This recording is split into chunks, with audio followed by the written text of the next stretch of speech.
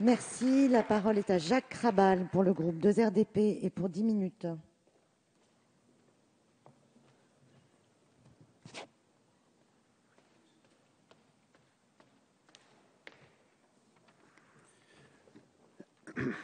Madame la présidente, monsieur le ministre, messieurs les co-rapporteurs, madame la présidente de la commission, ce projet de loi dont nous débutons l'examen revêt pour le groupe 2RDP une importance d'autant plus grande que ce texte, même si c'est déjà en tant que tel un véritable événement, va bien au-delà du développement et de la solidarité internationale. Lui, ce texte va aussi au-delà de la rénovation pour lutter contre la pauvreté et la préservation de la planète.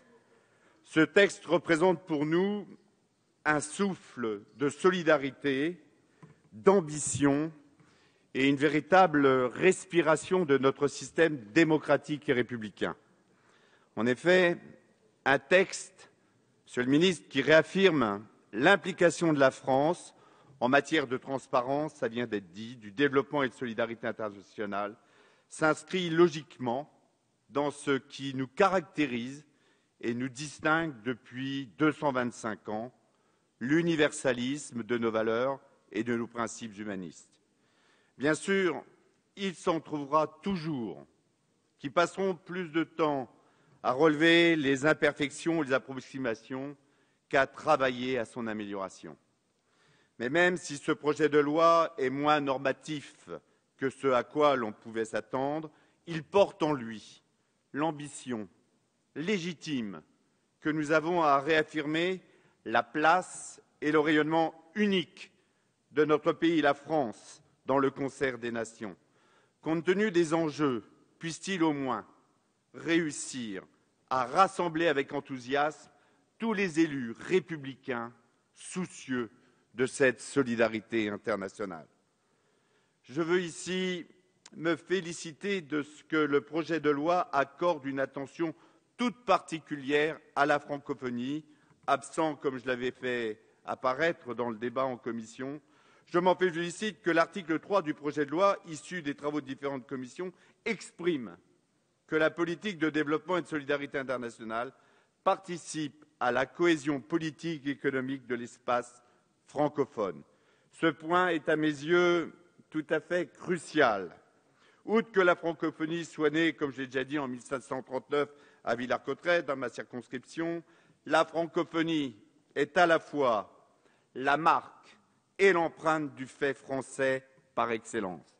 Un fait de culture à travers notre langue qui embrasse l'ensemble des peuples auxquels l'histoire nous a liés sur les cinq continents.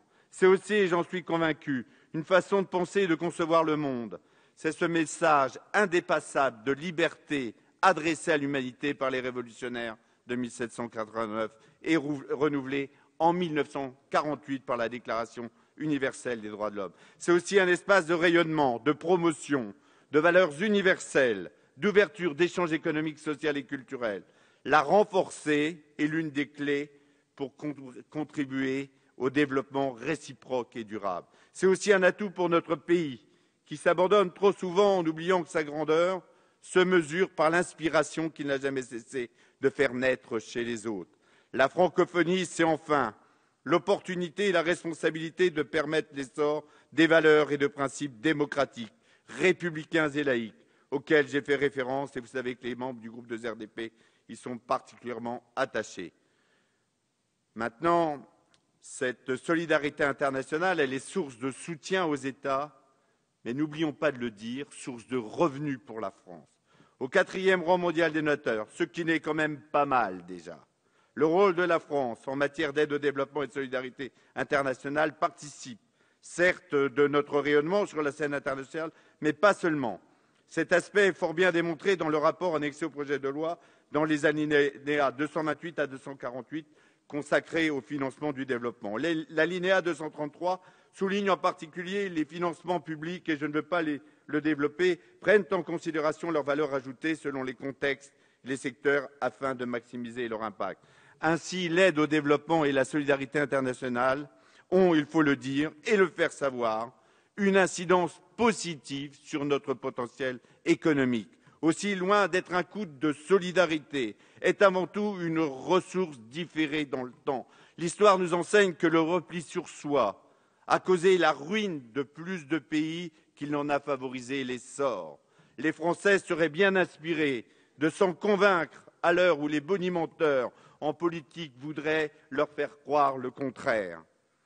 Pour toutes ces raisons, il est fondamental de former notre jeunesse aux enjeux du développement à travers la solidarité internationale. L'alinéa 183 du rapport annexé est à ce titre tout à fait révélateur. En effet, il pose que l'éducation au développement doit faire progresser le niveau de connaissance et d'appropriation par les citoyens des actions conduites.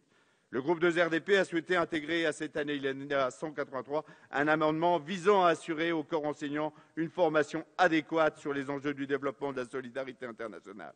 En effet, nous pensons que tout le monde conviendra que le niveau d'éducation des élèves dépend en premier lieu du niveau de formation des professeurs. Le souci et l'attention portés à autrui sont les principes liés à l'exercice d'une véritable morale citoyenne. Se soucier des hommes et des femmes qui habitent au coin de la rue, qui sont dans la difficulté, c'est tout à fait naturel. Mais il n'est pas incompatible de se soucier de celles et ceux qui sont dans des pays éloignés du nôtre à travers la solidarité internationale et l'aide au développement. Vous me permettrez, Monsieur le Ministre, d'évoquer quelques exemples sur un territoire que je connais bien, à savoir la Picardie, le sud de l'Aisne, à Château-Thierry. L'association Kinyami a mis en œuvre au Rwanda un programme d'accès à l'eau. À Madagascar, avec l'association Azatana, plusieurs actions en partenariat avec les syndicats d'eau, d'assainissement, avec la région Picardie, avec euh, euh, d'autres collectivités, le département. Ces initiatives sont d'abord, elles le doivent, l'existence à l'engagement des bénévoles. Vous avez parlé des héroïnes qui sont sur le terrain. Moi, je veux parler de ce million de bénévoles qui œuvrent ici en France à la mobilisation pour la solidarité internationale. Ils exercent des responsabilités de contrôle, de la vérification concrète des projets sur le terrain et surtout ils mettent en œuvre des initiatives de dynamisation de développement autonome et démocratique. L'échelon territorial est le plus concret et le plus transparent aux yeux de nos concitoyens. Il est primordial que les collectivités territoriales puissent jouer, elles aussi, leur rôle en matière de politique de développement et de solidarité. Et ce en quoi le groupe de RDP se félicite qu'en partenariat avec Cités Unies de France, eh ce texte permettra cette cohabitation, pardonnez-moi l'expression, entre l'État et les collectivités territoriales. Vous l'aurez compris, Monsieur le Ministre, le groupe de RDP apportera son soutien à ce texte important. Bien sûr, je ne vais pas reprendre les dix secteurs d'intervention, en citer trois rapidement. Il y a tout d'abord celui de l'action en faveur de la santé, de la protection sociale, tel que les alinéas 39 et 42 le précisent. Autre secteur d'intervention, l'agriculture, la souveraineté alimentaire et la sécurité alimentaire et nutritionnelle. Rappelons-nous que Confucius disait Quand un homme a faim, Mieux vaut lui apprendre à pêcher que de lui donner un poisson. L'aide de la France doit porter sur le développement d'une agriculture responsable et aboutir à une autonomie agricole pérenne des pays Le fait que le projet de loi mette l'accent sur la notion de développement durable est par conséquent un point extrêmement positif. Donc, euh, dernier secteur d'intervention, l'éducation et la formation dispensée aux populations des pays bénéficiaires. Il s'agit certainement là d'être des points les plus importants, car au-delà de l'urgence, l'aide de la France doit permettre à la jeunesse des pays les plus pauvres de se persuader qu'elle a la question de son avenir entre ses mains. Un système éducatif qui garantit l'accès au savoir et à la formation est le premier gage d'une réelle capacité à déterminer les conditions et les modalités de son développement. Les peuples trouvent là les possibilités de relever eux-mêmes l'ensemble des défis économiques, sociaux, sociétaux et politiques qui se posent à eux. Si les travaux en commission ont permis d'inscrire dans le texte que l'aide de la France en matière d'éducation se fera également en direction des filles, il reste que les membres du groupe estiment que la notion d'éducation devrait apparaître dès l'article 1 du projet de loi. Nous avons déposé un amendement qui place l'éducation au premier rang des objectifs de la politique du développement et de solidarité internationale de la France. Nous comptons sur votre appui pour le faire aboutir.